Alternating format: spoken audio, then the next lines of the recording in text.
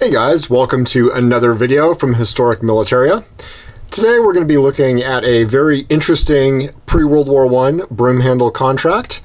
And this is uh, one of a thousand guns that was made for Persia in about 1909 to 1910.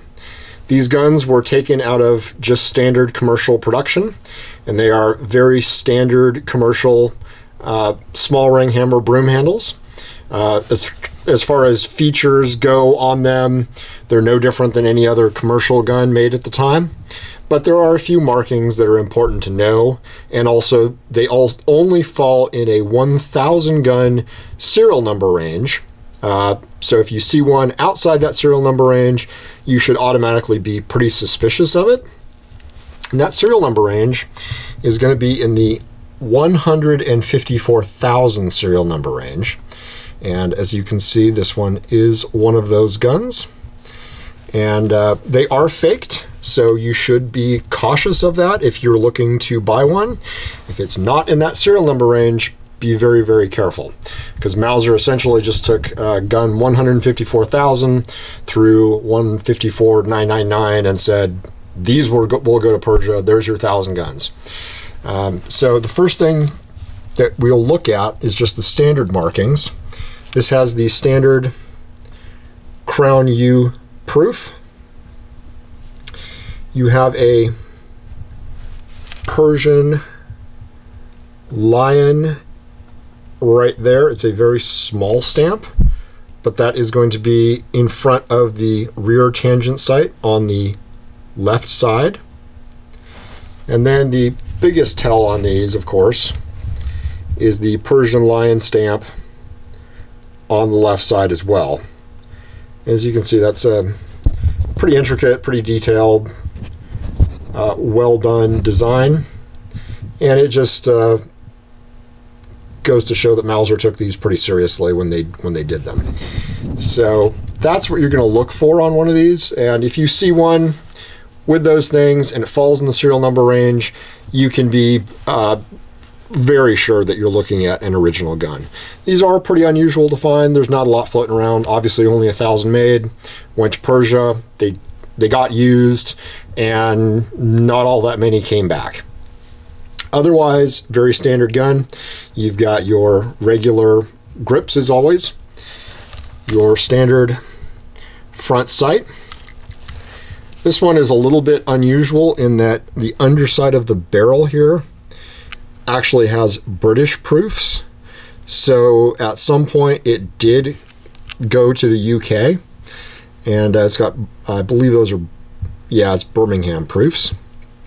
So this gun was a German gun that went to Persia and then ended up in the UK at some point. I'm not really sure how. It's just one of those things that you just can wonder about.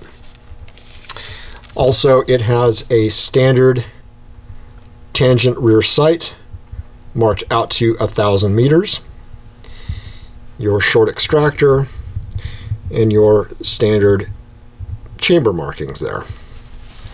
The rear of the gun, same as any other broom handle from this time period, small ring hammer, your typical serial numbers, and the last three repeated on the hammer. And the other side just has your standard Mauser markings, and really nothing else special about the gun. A lot of times these are actually confused with an earlier broom handle contract, and that was also for a thousand guns that actually went to Turkey. The difference is between the two contracts is that the Turkish guns were actually cone hammers, and they were made about 1898 and they were also for a thousand guns in their own serial number range.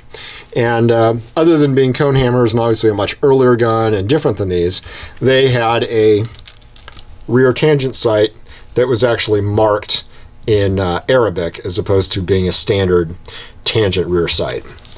So just a, a broom handle contract you don't see very often. And uh, the one, like, like I said, that is faked. So always be careful. Again, that serial number range is going to be in the 154,000 serial number range pretty much exclusively. So be very, very cautious of guns outside that range. Remember your stamp here. And remember to always find your stamp here. So if you do a little bit of due diligence and remember those things and you're looking to buy one of these, uh, that's kind of what you're going to look out for. And uh, good luck if you're looking for one. And uh, hope you've enjoyed taking a look at this. Uh, we'll be doing more videos on all kinds of firearms in the upcoming days and weeks, hopefully. And if there's anything you'd like to see, uh, drop a comment. And as always, like and subscribe. Thanks for watching.